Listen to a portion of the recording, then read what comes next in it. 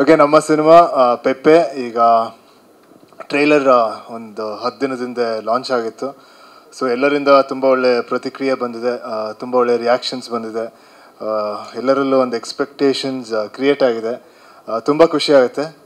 So ಇದು almost ಒಂದು two two and half years journey ನಮ್ಮೆಲ್ಲರ ಪ್ರೀತಿ, ಶ್ರಮ ಈ ಸಿನಿಮಾದಲ್ಲಿದೆ ಅದರಿಂದ ನಿಮ್ಮೆಲ್ಲರಿಗೂ ರೀಚ್ ಆಗಿದೆ ಅಂತ ಅಂದ್ಕೊಂಡಿದ್ದೀನಿ ಸೊ ಆಗಸ್ಟ್ ಮೂವತ್ತನೇ ತಾರೀಕು ಈ ಸಿನಿಮಾ ರಿಲೀಸ್ ಆಗ್ತಿದೆ. ಅದಕ್ಕೆ ಈಗ ಪ್ರೆಸ್ ಮೀಟ್ ಬಂದು ಏನು ವಿಷಯ ಅಂದರೆ, ಈ ಸಿನಿಮಾನ ನೀವು ಹೇಗೆ ಪರ್ಸೀವ್ ಮಾಡಬೇಕು, ಹೇಗೆ ಈ ಸಿನಿಮಾನ ನೋಡಬೇಕು, ಹೇಗೆ ಇದನ್ನ ಪ್ರೋತ್ಸಾಹಿಸಬೇಕು ಅಂತ ಕೇಳೋಕ್ಕೆ ಈ ಪ್ರೆಸ್ ಮೀಟ್ ಕೂಡ. ಸೊ ನಿಮ್ಮ ಹತ್ರ ನನ್ನ ಪ್ರಶ್ನೆ ಇದ್ದರೆ ಫಸ್ಟ್ ನಾನು ಹೇಳ್ ನಾನು ಉತ್ತರಿಸ್ತೀನಿ. ಹಾಂ ಹಾಂ. ಪೆಪ್ಪೆ ಅಂದರೆ ಆ್ಯಕ್ಚುಲಿ ಕ್ಯಾರೆಕ್ಟರ್ ಹೆಸರು ಪ್ರದೀಪ ಅಂತ ಸೊ ಶಾರ್ಟ್ ಫಾರ್ಮಲ್ಲಿ ಪೆಪ್ಪೆ. ಆಮೇಲೆ ಇನ್ನೊಂದು ಏನಂದರೆ, ಈಗ ಕೇರಳಲ್ಲಿ ಫುಟ್ಬಾಲ್ನ ತುಂಬ ಆಚರಿಸ್ತಾರೆ. ನಾವು ಹೇಗೆ ಕ್ರಿಕೆಟ್ ಆಚರಿಸ್ತೀವಿ, ಕೇರಳಲ್ಲಿ ಫುಟ್ಬಾಲ್ ತುಂಬ ಆಚರಿಸ್ತಾರೆ. ಪೆಪ್ಪೆ ಬಂದ್ಬಿಟ್ಟು ಒಂದು ಯುರೋಪಿಯನ್ ಫುಟ್ಬಾಲರ್ ಹೆಸರು. ಸೊ ಅದನ್ನು, ಅದರಿಂದ ಇನ್ಸ್ಪೈರ್ ಆಗಿ ಡೈರೆಕ್ಟರ್ ಮೋಸ್ಟ್ಲಿ ಈ ಕ್ಯಾರೆಕ್ಟರ್ ಕೂಡ ಅದಕ್ಕೆ, ಅದೇ ಹೆಸರು ಇಟ್ಟಿದ್ದಾರೆ ಅನಿಸುತ್ತೆ. ಇಲ್ಲ, ಅದು ಹಿಡ್ಕೊಳಕ್ಕೆ ಹತ್ತು ವರ್ಷ ಆಗಿದೆ. ಈಗ ಸಡನ್ ಆಗಿ ಇಟ್ಕೊಂಡಿಲ್ಲ. ಹತ್ತು ವರ್ಷ ಆದ್ಮೇಲೆ ಇಟ್ಕೊಂಡಿರೋದು. ಬಟ್ ಆ ಕತೆಗೆ ಬೇಕಾಗಿತ್ತು ಆ ಕ್ಯಾರೆಕ್ಟರ್ಗೆ ಬೇಕಾಗಿತ್ತು ಕೆಲವೊಂದು ಕತೆ ಗಿಟಾರ್ ಮೂಲಕ ಹೇಳಬೇಕು, ಕೆಲವೊಂದು ಕತೆ ಹೂದ್ ಮೂಲಕ ಹೇಳಬೇಕು, ಕೆಲವೊಂದು ಕತೆ ಈ ಥರ ಏನಿಂದು ಮಚ್ ಮೂಲಕ ಹೇಳಬೇಕು. ಸೊ ಅದೇ ರೀತಿ ಪೆಪೆ ಆ ಥರ ಒಂದು ಕತೆ ಅನ್ಸುತ್ತೆ. ಅದಕ್ಕೋಸ್ಕರ ಇದ್ರ ಮೂಲಕ ಹೇಳಿದ್ರೆ ಬಹುಶಃ ಚೆನ್ನಾಗಿರುತ್ತೆ ಅಂದ್ಬಿಟ್ಟು ಟ್ರೈ ಮಾಡಿದ್ವಿ. ಕರೆಕ್ಟ್ ಅದು ನಮ್ಮ ಕ್ಲೈಮ್ಯಾಕ್ಸ್ ಪೋರ್ಷನ್ ಆಮೇಲೆ ನಮ್ಮ ಇಡೀ ಸಿನಿಮಾದು ಮುಗ್ದಿ ಲಾಸ್ಟ್ ಕುಂಬಳಕಾಯಿ ಹೊಡೆಯೋ ನಾಲ್ಕು, ಐದು ದಿನ ಶೂಟ್ ಮಾಡಿದ್ದು ಸಕಲೇಶ್ಪುರಲ್ಲಿ. ಆಲ್ಮೋಸ್ಟ್ ಒಂದು, ಮೂವತ್ತು, ನಲ್ವತ್ತು ಜನ ಫೈಟರ್ಸ್ ಜೊತೆ ರವಿ ವರ್ಮ ಅವರು ಕೊರಿಯೋಗ್ರಫಿ ಮಾಡಿದ್ರು. ನನಗೆ ರವಿ ವರ್ಮ ಅವರ ಕೊರಿಯೋಗ್ರಫಿ ಮುನ್ ಮುಂಚೆಯಿಂದ ತುಂಬ ಇಷ್ಟ. ಅವ್ರ ಜೊತೆ ಕೆಲಸ ಮಾಡೋಕ್ಕೂ ಬರೀ ಹೊಸ ಸಿದ್ಧಾರ್ಥ ಅಲ್ಲಿ ಕೆಲಸ ಮಾಡಿದ್ದು. ಅದಾದಮೇಲೆ ಇವತ್ತೇ ಕೆಲಸ ಮಾಡಿದ್ದು. ಸೊ ನಮ್ಮದೊಂದು two two and half two two and half days ಇಲ್ಲ ತ್ರೀ ಡೇಸಲ್ಲಿ ಈ ಫೈಟ್ ಸೀಕ್ವೆನ್ಸ್ನ ಕಂಪ್ಲೀಟ್ ಮಾಡಬೇಕಾಯ್ತು. ಒಂದು ಹಲವಾರು ಕಾರಣಗಳಿಂದ ಆಮೇಲೆ ಎಲ್ಲ ಫಾಸ್ಟಾಗಿ ಮಾಡಬೇಕಾಯ್ತು. ಯಾಕಂದರೆ ಒಂದು ಮೂವತ್ತು ಜನ ಫೈಟ್ ಫೈಟ್ ಫೈಟರ್ಸ್ ಇದ್ದಾಗ ಒಬ್ಬೊಬ್ರ ಜೊತೆನೂ ಒಂದೊಂದು ಆ್ಯಕ್ಟಿವಿಟಿ ಇರುತ್ತೆ. ಸೊ ಅದನ್ನ ಇನ್ಸ್ಟೆಂಟಾಗಿ ಜ್ಞಾಪಿಸ್ಕೊಂಡು ಇನ್ಸ್ಟೆಂಟಾಗಿ ಅದನ್ನ ಅಲ್ಲಿ ಪರ್ಫಾರ್ಮ್ ಮಾಡಬೇಕು. ಅದೊಂಥರ ಹೊಸ ಚಾಲೆಂಜ್ ಇದ್ದು ತುಂಬ ಚೆನ್ನಾಗಿ ಬಂತು. ಬಟ್ ಇಡೀ ಸೀಕ್ವೆನ್ಸ್ ಕೂಡ ತುಂಬ ಚೆನ್ನಾಗಿ ಬಂದಿದೆ. ಇಲ್ಲ ನನಗೆ ನನ್ನ ಪ್ರತಿಯೊಂದು ಸಿನಿಮಾನೂ ನನಗೆ ತುಂಬ ಇಷ್ಟ, ಯಾಕಂದರೆ ಎಲ್ಲ ಸಿನಿಮಾಲು ಅದು, ಅದರಾದ ಒಂದು ಜರ್ನಿ ಇದೆ. ಸೊ ಸಿನಿಮಾ ಅಂದರೆ ಸಿನಿಮಾ, ಈಗ ಒಂದು ಆ್ಯಕ್ಷನ್ ಸಿನಿಮಾನೂ ಅಷ್ಟೇ ಇಷ್ಟಪಡ್ತೀನಿ, ನಾನೊಂದು ರೊಮ್ಯಾಂಟಿಕ್ ಕಾಮಿಡಿ ಸಿನಿಮಾನೂ ಅಷ್ಟೇ ಇಷ್ಟಪಡ್ತೀನಿ, ಒಂದು ಫ್ಯಾಮಿಲಿ ಡ್ರಾಮಾನು ಅಷ್ಟೇ ಇಷ್ಟಪಡ್ತೀನಿ. ಬಟ್ ಆ್ಯಕ್ಷನ್ ಮಾಡಿರ್ಲಿಲ್ವಲ್ಲ, ಅದಕ್ಕೆ ಅದು ಒಂಥರ ಒಂದು ಎಕ್ಸ್ಪೀರಿಯನ್ಸ್ ಹೊಸದಾಗಿತ್ತು. ಸೊ ಅದರಿಂದ ಇದು ಖುಷಿ ಆಯ್ತು ಈ ಸಿನಿಮಾನ ಮಾಡೋಕ್ಕೆ, ಪೆಪ್ಪೆ ಅಂತ ಒಂದು ಸಿನಿಮಾ ಮಾಡೋಕ್ಕೆ. ಯಾಕಂದ್ರೆ ಒಂದು ಟೆನ್ ಇಯರ್ಸಲ್ಲಿ ಅದು ಈ ಥರ ಒಂದು ಕ್ಯಾರೆಕ್ಟರ್ ಮಾಡಿಲ್ಲ, ಈ ಥರ ಸೀಕ್ವೆನ್ಸಸಲ್ಲಿ ಆ್ಯಕ್ಟ್ ಮಾಡಿಲ್ಲ ಪ್ಲೇ ಮಾಡಿಲ್ಲ. ಸೊ ಅದಕ್ಕೆ ಅದು ಖುಷಿಯಾಗಿ ಚೆನ್ನಾಗಿತ್ತು.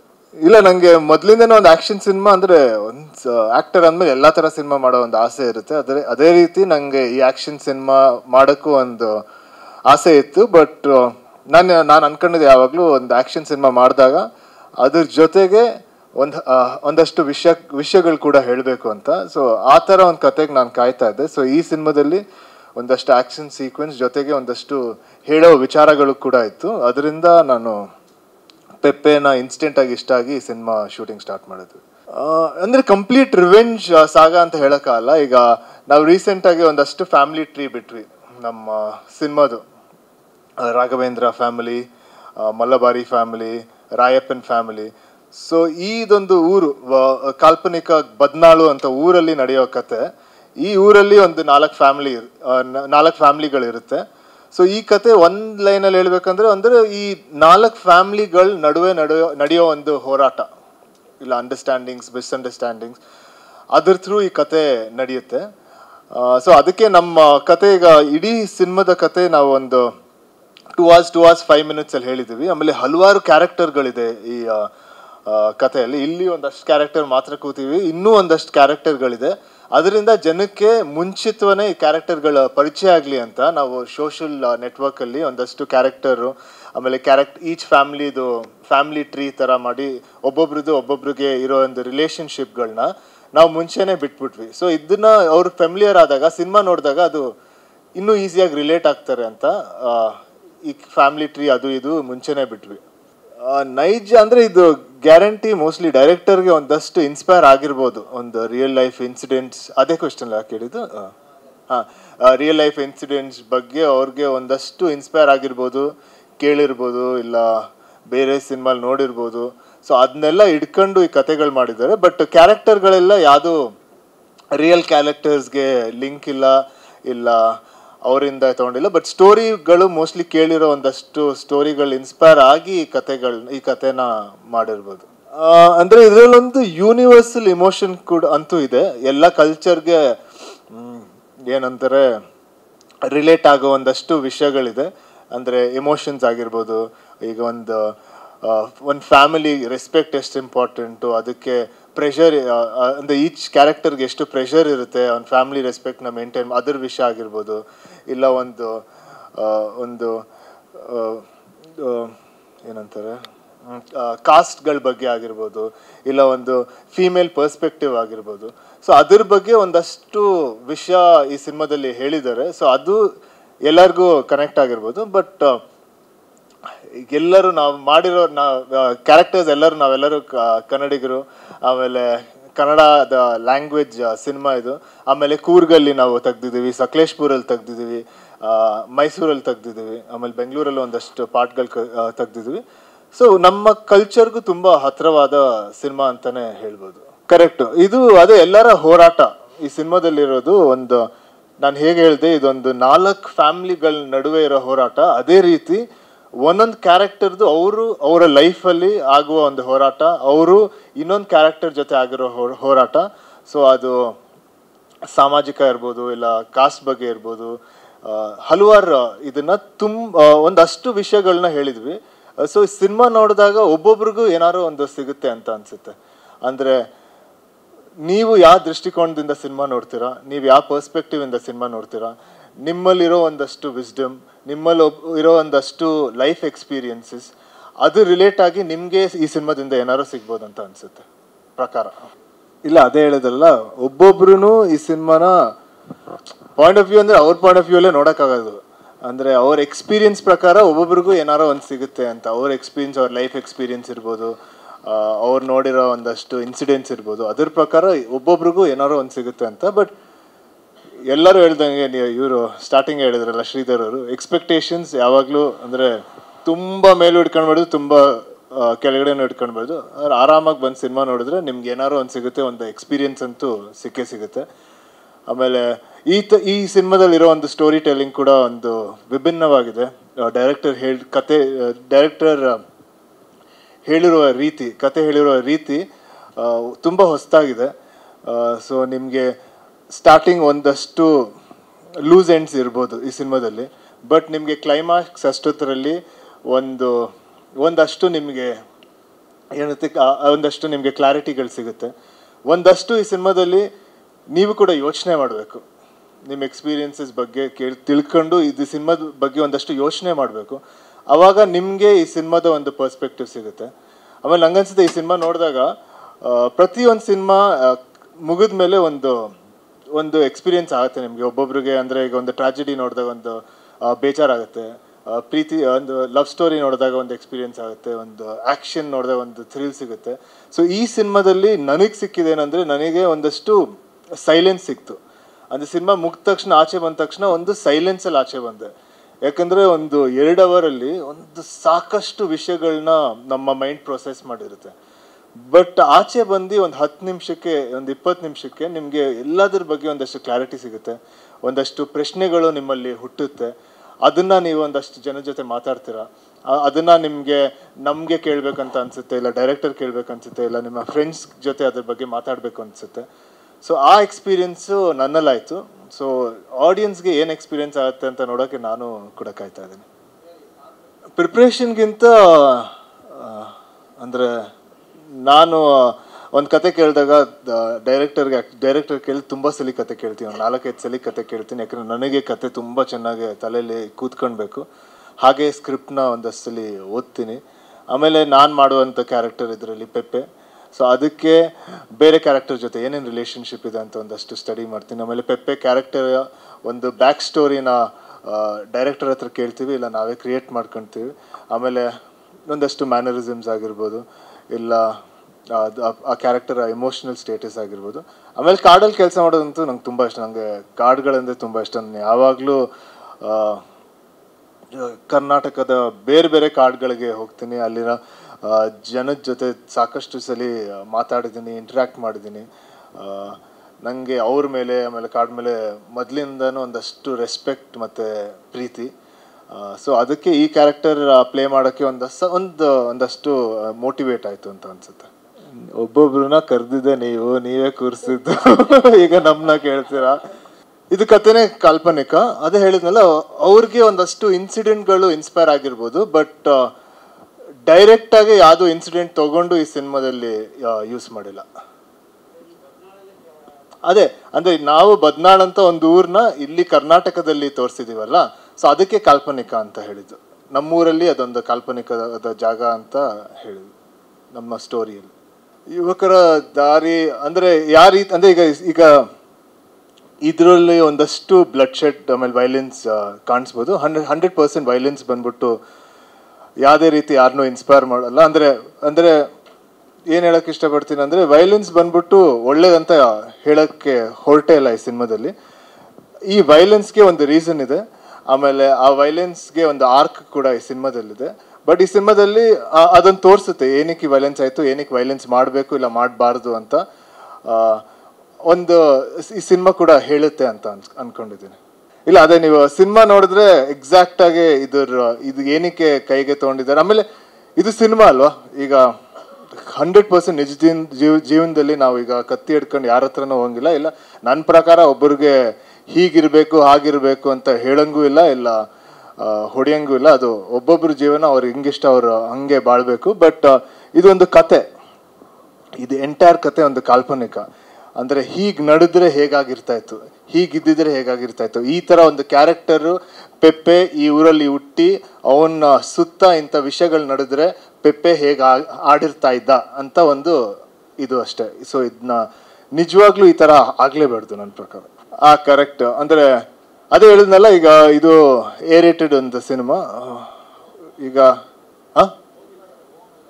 ಹಾ ಓಮೆಲ್ಲ ಇದೆ. ಅಂದ್ರೆ ಇದು, ಅಂದ್ರೆ ತುಂಬಾ ಕತೆಗಳಿದೆ ಒಂದು ಒಂದು ಸಿನಿಮಾ ಮಾಡೋಕ್ಕೆ, ತುಂಬಾ ವಿಷಯಗಳಿದೆ. ಈಗ ನಾವು ಕೂಡ ನಮ್ಮ ಪರ್ಸ್ನಲ್ ಲೈಫಲ್ಲಿ ಎಲ್ಲ ವಿಷಯ ಎಲ್ಲರ ಜೊತೆ ಹಂಚ್ಕೊಳಕ್ಕಾಗಲ್ಲ ಒಂದಷ್ಟು ವಿಷಯ ನಾವು ನಮ್ಮ ತಂದೆ, ತಾಯಿಗಳ ಜೊತೆ ಹೇಳ್ತೀವಿ, ಒಂದಷ್ಟು ವಿಷಯ ನಾವು ನಮ್ಮ ಫ್ರೆಂಡ್ಸ್ ಜೊತೆ ಹೇಳ್ತೀವಿ, ಒಂದಷ್ಟು ಜನ, ಒಂದು ವಿಷಯ ಬರೀ ಮಕ್ಕಳ ಜೊತೆ ಮಾತಾಡ್ತೀವಿ. ಸೊ ಈ ಸಿನಿಮಾ ನಾವು ಮಾಡಿರೋದು ಒಂದು ವರ್ಗದ ಆಡಿಯನ್ಸ್ಗಳಿಗೆ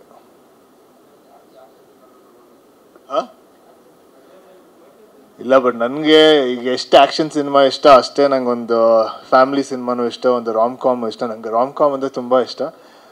ನಾನಂತೂ ಎಲ್ಲ ಥರ ಸಿನಿಮಾ ಮಾಡ್ತೀನಿ. ಆ್ಯಕ್ಷನ್ ಸಿನಿಮಾ ಬಂದರೆ ಅದು ಮಾಡ್ತೀನಿ ಬಟ್ ಜೊತೆಗೆ ಬೇರೆ ಥರ ಸಿನಿಮಾಗಳಂತೂ ಮಾಡಿ ಮಾಡ್ತೀನಿ. ಯಾಕೆಂದರೆ ನಮಗೆ ತುಂಬ ಒಂದು ಒಳ್ಳೆ ಪ್ರಮೋಷನ್ ಟೀಮ್ ಸಿಕ್ಕಿದೆ. ಪ್ರವೀಣ್ ಅವ್ರು ಆಗಿರ್ಬೋದು ಶ್ರೀಧರ್ ಅವ್ರು ಆಗಿರ್ಬೋದು ಆಮೇಲೆ ನಮ್ಮ ಮ್ಯಾನೇಜರ್ ಅವರು ಶಿವ ಅವ್ರು ಆಗಿರ್ಬೋದು ಸೊ ಮೂರು ಜನ ಸೇರ್ಕೊಂಡು ಇದೊಂದು ಒಳ್ಳೆ ಸ್ಟ್ರಾಟಜಿ ಮಾಡಿ, ಒಂದಷ್ಟು ಒಳ್ಳೆ ಇಂಟರ್ವ್ಯೂಸ್ಗಳು ಮಾಡಿ, ಆಮೇಲೆ ವಿಸಿಟ್ಸ್ಗಳು ಮಾಡಿ ತುಂಬ ಚೆನ್ನಾಗಿ ಪ್ಲ್ಯಾನ್ ಮಾಡಿದ್ರು. ಅದರಿಂದ, ಆಮೇಲೆ ಸಿನಿಮಾ ಕೂಡ ಒಳ್ಳೆ ರೆಸ್ಪಾನ್ಸ್ ಬಂತು ಟ್ರೇಲರಿಂದ ಸೊ ಅದೆಲ್ಲ ಒಟ್ಟಿಗಾಗಿ ಪ್ರಮೋಷನ್ ಕೂಡ ಅಷ್ಟು ಚೆನ್ನಾಗಿ ಬಂದಿದೆ ಅಂತ ಅನ್ಸುತ್ತೆ. ಡ್ಯಾಡು ಒಂದು ಅಪಿಯರೆನ್ಸ್ ಮಾಡಿದೆ ಈ ಸಿನಿಮಾದಲ್ಲಿ ತಂದೆನು. ಸೊ ಅದನ್ನು ನೀವು ಸಿನಿಮಾದಲ್ಲೇ ಹೇಳ್ಬೋದು. ಅದಕ್ಕೆ ಅದ್ರ ಬಗ್ಗೆ ಜಾಸ್ತಿ ಎಲ್ಲೂ ಮಾತಾಡಿಲ್ಲ. ಸಿನಿಮಾದಲ್ಲಿ ನೀವು ನೋಡ್ಬೋದು ಅವ್ರೇನು ಪಾತ್ರ ಮಾಡಿದ್ದಾರೆ ಅಂತ.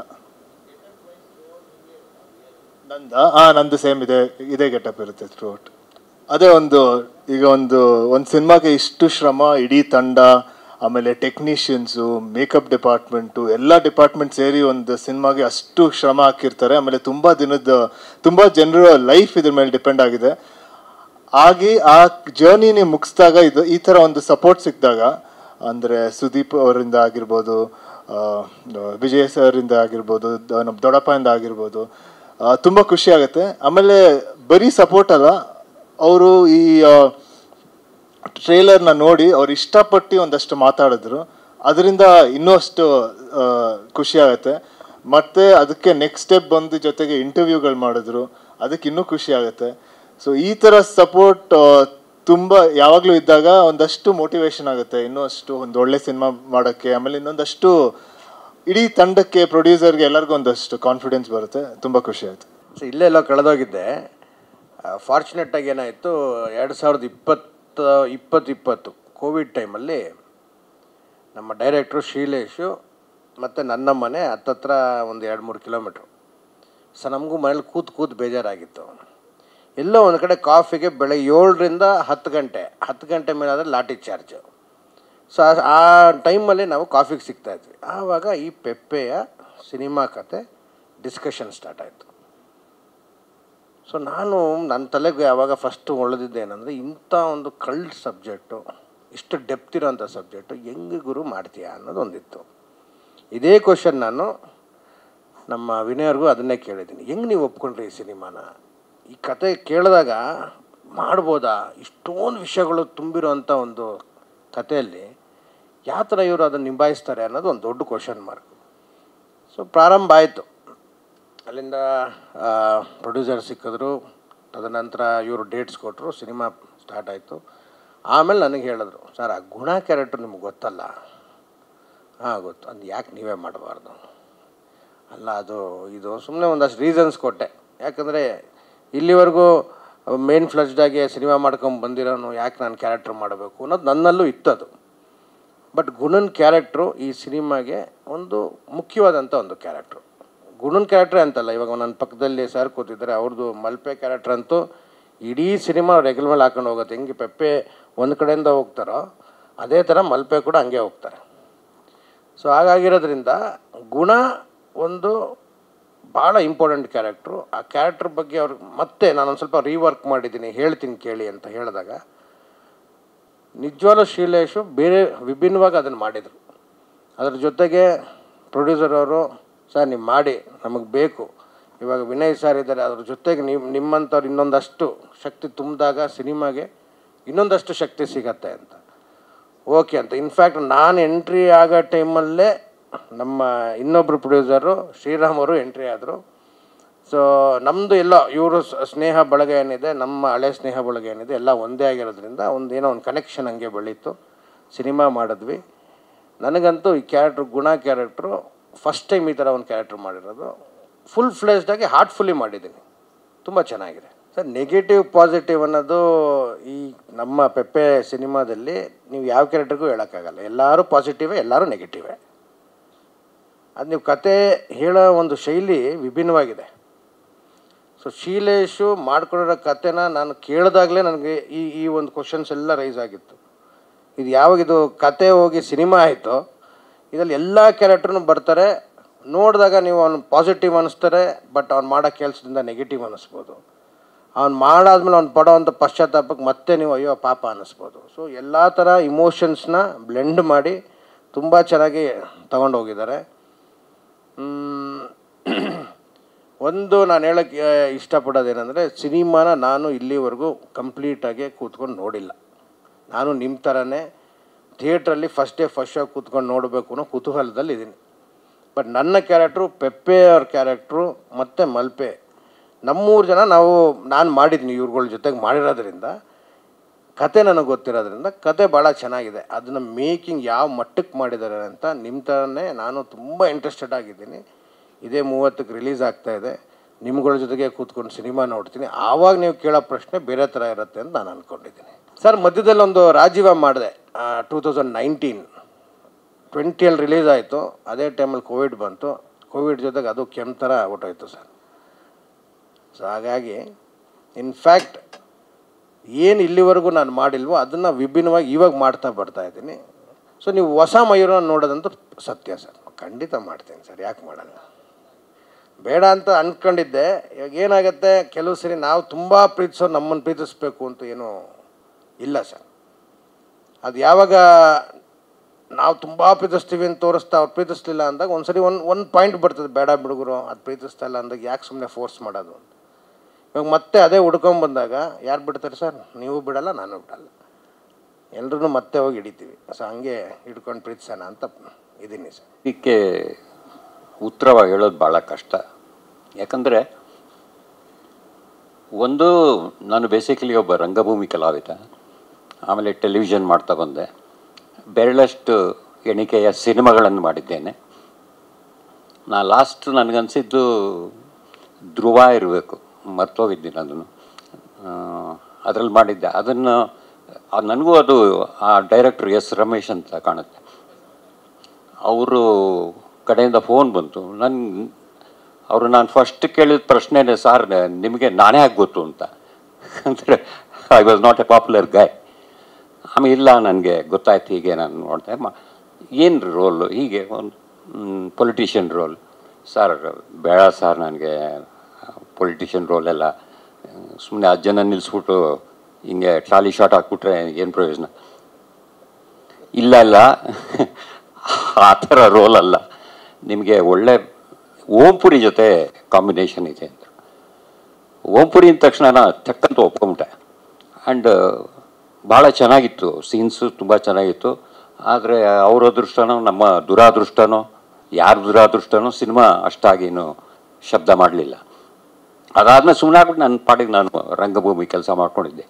ಈ ಸಿನಿಮಾ ಕೂಡ ನನಗೆ ನನ್ನ, ನಮ್ಮ ತಂಡದ ಒಬ್ಬ ಹುಡುಗ ಇದ್ದಾನೆ, ದಕ್ಷ ಅಂತ. ಅವನು ಒಂದು ದಿವಸ ನಾವು ಶೋ ಇತ್ತು ರಂಗಶಂಕರದಲ್ಲಿ. ಅವನು ಬಂದು, ಸರ್, ಇಲ್ಲಿ ಶ್ರೀಲೇಶ್ ಅಂತ ಒಬ್ಬರು ನಿರ್ದೇಶಕರಿದ್ದಾರೆ. ಅವ್ರಿಗೆ ನಿಮ್ಮ ಬಗ್ಗೆ ಹೇಳಿದ್ದೀನಿ. ಅವ್ರನ್ನ ಸಿನಿಮಾ ಮಾಡ್ತಾ ಇದ್ದಾರೆ. ನೀವು ಒಂದು ಪಾತ್ರ ಮಾಡಬೇಕು. ಮಾತಾಡಿ ಸರ್, ನೋಡಿ, ನಿಮ್ಗೆ ಇಷ್ಟ ಆದರೆ ಮಾಡಿ. ಆಮೇಲೆ ಕೆಳಗಡೆ ಅಲ್ಲೇ ರಂಗಶಂಕರದಲ್ಲಿ ಬಂದು ನೋಡಿದೆ ಮನುಷ್ಯ ಹುಡ್ಕಕ್ಕೆ ಒಂದು ಎರಡು ನಿಮಿಷ ಆಯಿತು.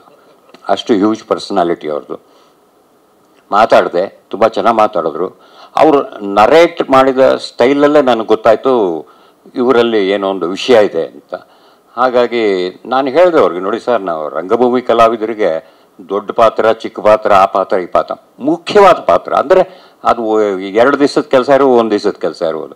ಆದರೆ ಪ್ರಾಮುಖ್ಯತೆ ಇರಬೇಕು ಆ ಪಾತ್ರಕ್ಕೆ. ಅಂಥ ಪಾತ್ರ ಖಂಡಿತ ಮಾಡ್ತೀನಿ ಸರ್. ನನಗೇನು ಥ್ರೋಟ್ ಸಿನಿಮಾ ಇರಬೇಕು, ಆ ಥರದ್ದೇನು ಆಸೆ ಇಲ್ಲ. ಆಮೇಲೆ ಅವರು, ಇಲ್ಲ, ಈ ಥರ ಇದೆ, ಈ ಥರ ಇದೆ ಅಂತ ಹೇಳಿ ಕೊನೆಗೆ ಇವರು ಪಟೇಲ್ ಹೇಳಿದಾಗೆ, ನಾವು ಬರೀ ಟ್ರೇಲರೇ ನೋಡಿರೋದು, ಸಿನಿಮಾ ನೋಡಿಲ್ಲ. ಯಾಕಂದರೆ ಯಾಕಂದ್ರೆ ಒಬ್ಬ ಆರ್ಟಿಸ್ಟ್ಗೆ ಏನಾಗುತ್ತೆ, ಕೆಲಸ ಮಾಡುವಾಗ ಅವನ ಪಾತ್ರ, ಅವನು ಏನು ಮಾಡ್ಬೋದು, ಹೇಗೆ ಮಾಡ್ಬೋದು, ಅವ್ನು ಕಾಂಟ್ರಿಬ್ಯೂಟ್ ಏನು ಯಾವ ರೀತಿಯಲ್ಲಿ ಮಾಡ್ಬೋದು? ಈ ಥರ ಯೋಚನೆ ಮಾಡ್ತಾ ನಾವು ಒಂದು ಪಾತ್ರವನ್ನು ಮಾಡ್ತಾ ಹೋಗ್ತೀವಿ. ಆದರೆ ಫೈನಲ್ ಎಡಿಟ್ ಆದಮೇಲೆ ಫೈನಲ್ ಕಟ್ ಆದಮೇಲೆ ಮ್ಯೂಸಿಕ್ ಹಾಕಿದ್ಮೇಲೆ ಗ್ರಾಫಿಕ್ಸ್ ಈಗಂತೂ ಗ್ರಾಫಿಕ್ಸ್ ಟೆಕ್ನಿಕ್ ಇದೆ. ಸೊ ಅವೆಲ್ಲ ಆದಮೇಲೆ ಅದು ಹೇಗೆ ಮೂಡಿ ಬರುತ್ತೆ ಸ್ಕ್ರೀನ್ ಮೇಲೆ ಏನದು ನನಗೆ ಈಗ ಸದ್ಯಕ್ಕಂತೂ ನನಗೆ ಯಾವುದು ಗೊತ್ತಿಲ್ಲ. ಅದು ಹೇಗೆ ಬಂದಿದೆ ಅಂತ ಸಿನಿಮಾ ನೋಡಿದವ್ರು ಹೇಳಬೇಕು. ಅದಕ್ಕಿಂತ ಹೆಚ್ಚಾಗಿ ಯಾವುದೇ ಸಿನಿಮಾ ಬಹಳ ಕಷ್ಟಪಟ್ಟೆ ಮಾಡೋದು. ಯಾವುದೇ ಸಿನಿಮಾ ಆಗಲಿ. ಯಾರು ತಮ್ಮ ಸಿನಿಮಾ ಫೇಲಿಯರ್ ಆಗಬೇಕು ಅಂತ ಯಾರೂ ಮಾಡೋದಿಲ್ಲ. ಸಕ್ಸಸ್ ಆಗಬೇಕಂತಲೇ ಮಾಡೋದು. ಆದರೆ ನಮ್ಮ ಸಿನಿಮಾದಲ್ಲಿ ನಮ್ಮ ಶಿಲೇಶ್ ಅವರು ಇಷ್ಟಪಟ್ಟು, ಕಷ್ಟಪಟ್ಟು ಮಾಡಿದ್ದಾರೆ. ಯಾಕಂದರೆ ಪ್ರತಿಯೊಂದು ಸೀನನ್ನು ಪ್ರತಿಯೊಂದು ಕ್ಯಾರೆಕ್ಟರ್ನ ಅವರು ಬಿಲ್ಡ್ ಮಾಡೋದಕ್ಕೆ ಅವರು ಸಾಕಷ್ಟು ಸಮಯ ತಗೊಂಡು ಬಹಳ ಕೇರ್ಫುಲ್ಲಾಗಿ ಆ ಪಾತ್ರ ಹೀಗೇ ಬರಬೇಕು, ಹಾಗೇ ಮೋಲ್ಡ್ ಆಗಬೇಕು ಅಂತ ಒಂದು ದೃಷ್ಟಿ ಇಟ್ಕೊಂಡು ಅವರು ಈ ಈ ಸಿನಿಮಾ ಮಾಡಿದ್ದಾರೆ. ಹಾಗಾಗಿ ಮೊದಲೇ ನಾನು ಯಾವಾಗಲೂ ಹೇಳ್ತಿರ್ತೀನಿ ನಾವೇನೇ ಮಾಡಿದ್ರು ನಮ್ಮದು ಪ್ರಯತ್ನ. ನಿಷ್ಠೆಯಿಂದ ಮಾಡಿದ ಒಂದು ಪ್ರಯತ್ನ. ಆದರೆ ಫೈನಲ್ ಜಡ್ಜಸ್ಸು ನಮ್ಮ ಪ್ರೇಕ್ಷಕರು. ಹಾಗಾಗಿ ನಮ್ಮ ಪ್ರೇಕ್ಷಕರಲ್ಲಿ ನಾನು ಕೇಳ್ಕೊಳ್ಳೋದಿಷ್ಟೇ, ದಯವಿಟ್ಟು ಸಿನಿಮಾ ನೋಡಿ, ಇಷ್ಟಪಡಿ, ನೀವು ಪ್ರಚಾರ ಮಾಡಿ, ನಮ್ಮನ್ನು ಗೆಲ್ಲಿಸಿ ಮೂವತ್ತನೇ ತಾರೀಕು ರಿಲೀಸ್ ಆಗ್ತಾ ಇದೆ. ತಂಡದ ಕಡೆಯಿಂದ ನಾನು ನಿಮ್ಮೆಲ್ಲರಿಗೂ ನಮಸ್ಕಾರಗಳನ್ನ ಹೇಳ್ತಾ, ನನ್ನ ಒಂದೆರಡು ಮಾತು ಮುಗಿಸ್ತೀನಿ. ನಮಸ್ಕಾರ. ಒಂದೆರಡು ಸಲ, ಒಂದು ಸಲ ಆಗುತ್ತೆ ಅದು. ಕೆಲಸ ಮಾಡುವಾಗ ಏನಾಗುತ್ತೆ, ಏನೋ ಒಂದು ಅವ್ರದ್ದು ಸಣ್ಣ ಪುಟ್ಟದ್ದಾಗತ್ತೆ. ಅಂದರೆ ಮೇಜರ್ ಚೇಂಜಸ್ ಅಂತೂ ಮಾಡಿ, ಮಾಡೋಕ್ಕಾಗಲ್ಲ. ಯಾಕಂದರೆ ಸ್ಕ್ರಿಪ್ಟ್ ಅಷ್ಟು ತುಂಬ ಚೆನ್ನಾಗೇ ಮಾಡಿದ್ರು ಅವರು. ಹಾಗಾಗಿ ಸಣ್ಣ ಪುಟ್ಟ ಕೆಲವು ಇದಿರುತ್ತೆ ಡೈಲಾಗ್ ಡೆಲಿವರಿ ಟೈಮಿಂಗ್ ಇರ್ಬೋದು, ಅಥವಾ ಪಾಸಸ್ ಇರ್ಬೋದು. ಯಾಕಂದರೆ ಡೈಲಾಗ್ ಹೇಳುವಾಗ ಏನಾಗುತ್ತೆ ಪಾಸ್ ಅನ್ನೋದು ಬಹಳ ಮುಖ್ಯವಾದಂಥ ಒಂದು ಅಂಶ ಅದು. ಯಾವುದೇ ಆರ್ಟಿಸ್ಟ್ಗೆ ಅವ್ನು ಎಲ್ಲಿ ಪಾಸ್ ಇವಾಗ ನಜರುದ್ದೀನ್ ಶಾ ತಗೊಳ್ಳಿ. ನಾನು ಭಾಳ ಇಷ್ಟ. ಆ ಕಾಲದಲ್ಲಿಂದ ಪಡ್ಡ ಕಮಲಾಸನ್ ಫಾರ್ ದಟ್ ಮ್ಯಾಟರ್ ಅವ್ರು ಪಾಸಲ್ಲೇ ಕೆಲಸ ಮಾಡ್ತಾರೆ. ಅಂದರೆ ಕ್ಯಾಮ್ರಾ ಮುಂದೆ ಏನೂ ಮಾತಾಡದೆ. ಆ ಎಕ್ಸ್ಪ್ರೆಸ್ ಮಾಡೋದಿದೆಯಲ್ಲ ಅದು ಬಹಳ ಕಷ್ಟವಾದ ಕೆಲಸ. ಡೈಲಾಗ್ ಹೇಳ್ತೀವಿ. ಆದರೆ ಆ ಪಾಸಲ್ಲಿ ಕೆಲಸ ಮಾಡೋದಿದೆಯಲ್ಲ ಅದು ಇಟ್ಸ್ ರಿಯಲಿ ಒಂದು ನಿಜವಾದ ಇನ್ಬಾರ್ನ್ ಟ್ಯಾಲೆಂಟ್ ಅಂತ ನನ್ನ ಅನಿಸಿಕೆ. ನೋಡಿ ಸರ್, ಎಲ್ಲರೂ ಮಾತಾಡಿದ್ದಾರೆ ದೊಡ್ಡ ದೊಡ್ಡವರೆಲ್ಲ ಮಾತಾಡಿದ್ದಾರೆ ಇದು ಈಗ ನಿಮಗೆಲ್ಲರಿಗೂ ನಮಗಿಂತ ಚೆನ್ನಾಗಿ ನಿಮಗೆ ಗೊತ್ತಿರುತ್ತೆ ಸರ್. ಯಾಕಂದರೆ ಈ ಇತ್ತೀಚಿನ ದಿನಗಳಲ್ಲಿ ಇಡೀ ಪ್ರಪಂಚದಲ್ಲೇ ಇಂಡಿಯಾ ಬಿಟ್ಬಿಡಿ, ಇಡೀ ಪ್ರಪಂಚದಲ್ಲೇ ವೈಲೆನ್ಸ್ ಅನ್ನೋದು ಹಬ್ಕೊಂಡ್ಬಿಟ್ಟಿದೆ. ಆ್ಯಂಡ್ ನಾವು ಬರೀ ಪೇಪರ್ ಓದ್ಬೋದು ಟಿ ವಿ ನೋಡ್ಬೋದು ಸೋಷಿಯಲ್ ಮೀಡಿಯಾದಲ್ಲಿ ಏನು ಬರುತ್ತೋ ಅದು ನೋಡ್ಬೋದು. ಆದರೆ ನೀವು, ನಿಮಗೆಲ್ಲ ಏನಾಗುತ್ತೆ? ಪ್ರತ್ಯಕ್ಷ ಸಾಕ್ಷಿಗಳಾಗಿರ್ತೀರಿ ಎಷ್ಟೋ ಕಡೆ. ಯಾವುದೋ ಒಂದು ಆಕ್ಸಿಡೆಂಟ್ ಆಗಿರ್ಬೋದು ಮರ್ಡರ್ ಆಗಿರ್ಬೋದು, ಏನಾಗಿರ್ಬೋದು, ಅದಕ್ಕೆಲ್ಲ ನಿಮಗೆ, ನಮಗಿಂತ ಚೆನ್ನಾಗಿ ನಿಮಗೆ ಎಕ್ಸ್ಪೀರಿಯನ್ಸ್ ಇರುತ್ತೆ. ಆದರೆ ಈಗ ಈ ವೈಲೆನ್ಸ್ ಅನ್ನೋದು it's a very common thing ಇದೇನು ಹೊಸ ವಿಚಾರ ಅಲ್ವೇ ಅಲ್ಲ. ಹಾಗಾಗಿ ಈ ಸಿನಿಮಾ ಪ್ರೇಕ್ಷಕರು ಯಾವ ದೃಷ್ಟಿ ನೋಡ್ಬೇಕಂದ್ರೆ ಅವ್, ಅವರು, ಅವ್ರ ಮನೇಲಿ ಏನೋ ಒಂದು ಇನ್ಸಿಡೆಂಟ್ ಆಗಿರ್ಬೋದು, ಅದನ್ನು ಅವರು ಕಂಪೇರ್ ಮಾಡ್ಕೋಬೋದು. ಅಂಥ ಇನ್ಸಿಡೆಂಟ್ ತುಂಬ ಇದೆ ಅಂತ ಕಾಣುತ್ತೆ ಸಿನಿಮಾದಲ್ಲಿ.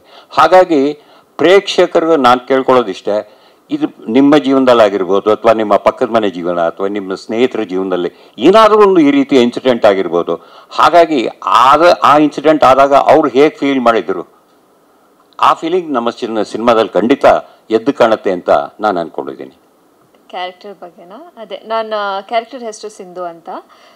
ಸ್ಕೂಲ್ ಟೀಚರ್ ಅವರು. And I think one of the strongest character ನಾನು ಇಲ್ಲಿವರೆಗೂ ಪ್ಲೇ ಮಾಡಿದ್ದೀನಿ. ಬಿಕಾಸ್ ಅವರೇ, ಅವರಾಗಿ ತುಂಬ ಸ್ಟ್ರಾಂಗ್ ಇದ್ದಾರೆ ಫಿಯರ್ಸ್ ಇದ್ದಾರೆ. ಆ್ಯಂಡ್ ವೆರಿ ಫಿಯರ್ಲೆಸ್ ಆಲ್ಸೋ ಯಾರಿಂದನೂ ಹೆದರಲ್ಲ. ಸೊ ತುಂಬ ಖುಷಿ ಆಯಿತು ಕ್ಯಾರೆಕ್ಟರ್ ಮಾಡೋಕ್ಕೆ. ಅದು ಬ್ಲೇಡ್ ನಾನೇ ಇಟ್ಕೊಂಡಿದ್ದೀನ ಅಂತ ನೀವು ಸಿನಿಮಾಲಿ ಆ್ಯಕ್ಚುಲಿ ನೋಡಬೇಕು. ಬಹುಶಃ ನಾನಲ್ಲ ಅಂತ.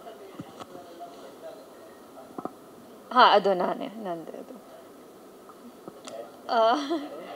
ಐ ಥಿಂಕ್ ಅದೊಂದು ಸಿಂಬಾಲಿಸಮ್ ಥರ ತೋರಿಸಿದ್ದಾರೆ ನಮ್ಮ ಡೈರೆಕ್ಟರ್ ಸೊ ಅದು ಏನಂತ ಐ ಥಿಂಕ್ ನಾವು ಸಿನಿಮಾಲಿ ನೋಡಿದರೆ ಬೆಟರ್ ಸರ್ ನಾನು ಜಾಸ್ತಿ ಅದು, ಅದ್ರ ಬಗ್ಗೆ ಹೇಳೋಕ್ಕಾಗಲ್ಲ ಅದಕ್ಕೆ. ಇದುವರೆಗೆ ಇವಾಗ ಲೇಟೆಸ್ಟು ಲಿಸ್ಟ್ ಪ್ರಕಾರ ನೂರ ಎಂಬತ್ತೆರಡು ಥಿಯೇಟ್ರಲ್ಲಿ ರಿಲೀಸ್ ಆಗ್ತಾ ಇದೆ. ಇನ್ಕ್ಲೂಡಿಂಗ್ ಮಲ್ಟಿಪ್ಲೆಕ್ಸ್ ಸೇರಿ. ಮೇ ಬಿ ಇನ್ನೂ ಇನ್ಕ್ರೀಸ್ ಆಗ್ಬೋದು ಇವತ್ತು ಫೈನಲ್ ಲಿಸ್ಟಲ್ಲಿ ಸದ್ಯಕ್ಕೆ ಯಾವುದು ಪ್ಲ್ಯಾನ್ ಇಲ್ಲ. ಒನ್ಸು ನಮ್ಮ ಕನ್ನಡಿಗರ ರೆಸ್ಪಾನ್ಸ್ ನೋಡ್ಕೊಂಡು ಆಮೇಲೆ ಡಿಸ್ಟ್ರಿಬ್ಯೂಷನ್ನು ಕೆ ಆರ್ ಜಿ ಅವ್ರು ತೊಗೊಂಡಿದ್ದಾರೆ. ಜೈನ್ ಅವರು ಅದಕ್ಕೆ ಸ್ವಲ್ಪ ಸಾಥ್ ಕೊಟ್ಟಿದ್ದಾರೆ. ಈ ಸಿನಿಮಾ ತುಂಬ ಅದ್ಭುತವಾಗಿ ಬಂದಿದೆ. ಅದಕ್ಕೆ ತಕ್ಕಂಗೆ ಬ್ಯಾಕ್ಗ್ರೌಂಡ್ ಮ್ಯೂಸಿಕ್ಕು ತುಂಬ ಚೆನ್ನಾಗಿ ಕಂಪೋಸ್ ಮಾಡಿದ್ದಾರೆ. ಡೆಫಿನೆಟ್ಲಿ ನೀವು ಈ ಫಿಲಮನ್ನು ನೋಡಿದ್ಮೇಲೆ ಆಚೆ ಬಂದು ಈ ಸಿನಿಮಾದ ಬಗ್ಗೆ ಮತ್ತು ಅದನ್ನು ಕ್ಯಾರಿ ಮಾಡ್ಕೊಂಡು ಹೋಗ್ತೀರಾ ಒಂದಷ್ಟು ಕ್ಯಾರೆಕ್ಟರ್ಗಳನ್ನು ಆಮೇಲೆ ಅದನ್ನು ಟಾಕ್ಸ್ಗಳು ತುಂಬ ನಡೆಯುತ್ತೆ. ಈವನ್ ಆಡಿಯನ್ಸು ತುಂಬ ಟಾಕ್ಸ್ಗಳು ಮಾಡ್ತಾರೆ ಅದನ್ನು. ಅಷ್ಟು ಗ್ಯಾರಂಟಿ ಇದೆ. ಸರ್ ಪ್ರೊಡ್ಯೂಸರ್ ಆಗಿ ಪಾತ್ರಕ್ಕೆ ಹೆಂಗೆ ಸರ್ ಪೇಮೆಂಟ್ ತೊಗೊಳಕ್ಕಾಗತ್ತೆ? ಅವಕಾಶ ಸಿಕ್ಕಿದೆ ಹೆಚ್ಚಲ್ಲ ಸರ್ ನಿಮಗೆ? ಇಲ್ಲ ಸರ್ ಇದೇ ಮೊದಲನೇ ಬಾರಿ ಆ್ಯಕ್ಟ್ ಮಾಡಿದ್ದೀನಿ ಸರ್ ನಾನು ಈ ಚಿತ್ರದಲ್ಲಿ ಮೊಗ್ಗು ಅಂತ ಒಂದು ಪಾತ್ರ ಮಾಡಿದ್ದೀನಿ. ಈ ಸಿನಿಮಾದಲ್ಲಿ ನಾನು ಮೂರು ಶೇಡ್ಸಲ್ಲಿ ಕಾಣಿಸ್ಕೊಳ್ತೀನಿ. ಸೊ ನನ್ನ ಅದೃಷ್ಟ ಮೊದಲ ಸಿನಿಮಾದಲ್ಲಿ ಮೂರು ಶೇಡ್ ಸಿಕ್ಕಿರೋದು. ಡೈರೆಕ್ಟ್ರ್ ಅಣತಿಯಂತೆ ನಾನು ಆ್ಯಕ್ಟ್ ಮಾಡಿದ್ದೀನಿ. ಕತೆ ನನಗೆ ಗೊತ್ತಿಲ್ಲ, ಸಿನಿಮಾನ ನೋಡಿಲ್ಲ. ಡೈರೆಕ್ಟ್ರ್ ಎಷ್ಟು ಹೇಳಿದರೆ ಅಷ್ಟು ಮಾಡಿದ್ದೀನಿ. ಮೊಗ್ಗು ಅರಳುವುದು ಮೂವತ್ತನೇ ತಾರೀಕು ಹೂವಾಗಿ. ಎಕ್ಸ್ಪೀರಿಯನ್ಸ್ ಅಂದರೆ ಅಂದರೆ ಜನರಲ್ ಆಗಿ ಹೇಳೋದು ತುಂಬ ಕಷ್ಟ. ಸಿನಿಮಾದಲ್ಲಿ ನನ್ನ ಪಾತ್ರ ಎಷ್ಟಿತ್ತು, ಅದೆಷ್ಟು ಮಾಡಬೇಕಾದ್ರೆ ಹೇಗೆ ಹೋಲ್ ಸೆಟ್ಟು ಒಂದು ಫೋಕಸ್ಡ್ ಆಗಿರ್ತಿತ್ತು. ಈವನ್ ಡೈರೆಕ್ಟರ್ ಆಗಿರ್ಬೋದು ಟೆಕ್ನಿಷಿಯನ್ಸ್ ಆಗಿರ್ಬೋದು. ಹೇಗೆ ಒಂದು ಇದನ್ನು ಕಟ್ಟೋದಕ್ಕೆ ಅಲ್ಲಿ ನಿಂತಿದ್ರು, ಅದು ತುಂಬ ಹೆಲ್ಪ್ ಮಾಡಿತ್ತು ಕ್ಯಾರೆಕ್ಟರನ್ನು ಬಿಲ್ಡ್ ಮಾಡೋಕ್ಕೆ.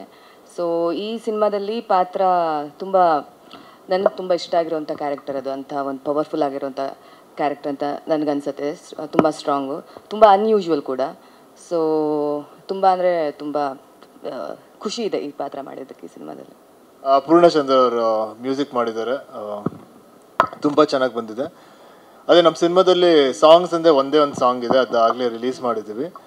ಅದ್ರ ಬಿಟ್ಟರೆ ಇಡೀ ಸಿನಿಮಾದಲ್ಲಿ ನಿಮಗೆ, ನಿಮ್ಗೆ ಎಷ್ಟು ವೈಲೆನ್ಸ್ ಕಾಣಿಸುತ್ತೆ, ಆಮೇಲೆ ಎಷ್ಟು, ಅಷ್ಟೇ ಸೈಲೆನ್ಸು ಇದೆ. ಸೊ ಡೈರೆಕ್ಟರ್ ಇದರಲ್ಲಿ ತುಂಬ ಸೈಲೆನ್ಸ್ ಜೊತೆ ಒಂದಷ್ಟು ಸ್ಟೋರಿ ಹೇಳಿದ್ದಾರೆ ಒಂದಷ್ಟು ಪಾಸಸ್ ಜೊತೆ ಸ್ಟೋರಿ ಹೇಳಿದ್ದಾರೆ. ಆಮೇಲೆ ಎಲ್ಲಿ ಬೇಕೋ ಅಲ್ಲಿ ಮಾತ್ರ ನಮ್ಮ ಪೂರ್ಣ ಅವರು ಒಂದು ಒಳ್ಳೆ ಆರ್ ಆರ್ ರೀ ರೆಕಾರ್ಡಿಂಗ್ ಕೂಡ ಮಾಡಿದ್ದಾರೆ. ಎಲ್ಲಿ ಎಲಿವೇಟ್ ಮಾಡಬೇಕು, ಎಲ್ಲಿ ಹಸಿನ ಹಾಗೆ ತೇಳಿಸ್ಬೇಕು ತುಂಬ ಚೆನ್ನಾಗಿ ವರ್ಕ್ ಮಾಡಿದ್ದಾರೆ ಡೈರೆಕ್ಟರ್ ಜೊತೆ. ನನಗಂತೂ ತುಂಬ ಇಷ್ಟ ಆಯಿತು ಅವರ ಮ್ಯೂಸಿಕ್ಕು ಈಗ ಅವ್ರು ಆ್ಯಕ್ಚುಲಿ ನಮಗೆ, ನನ್ನ ಗ್ರಾಮೀಣ ಸಿನಿಮಾದಲ್ಲಿ ಕೂಡ ನನ್ನ ಜೊತೆ ಕೆಲಸ ಮಾಡಿದ್ದಾರೆ. ಸೊ ಈಗ ಪೆಪ್ಪೆಲ್ ಕೂಡ ಕೆಲಸ ಮಾಡ್ತಿದ್ದಾರೆ. ಅವರು ಈ ಕಥೆನ ಅವ್ರ ಅವ್ರ ಮ್ಯೂಸಿಕ್ಕಿಂದ ತುಂಬ ಚೆನ್ನಾಗಿ ಹೇಳಿದಾರಂತ ಹೇಳಕ್ಕೆ ಇಷ್ಟಪಡ್ತೀನಿ. ನಮಸ್ಕಾರ.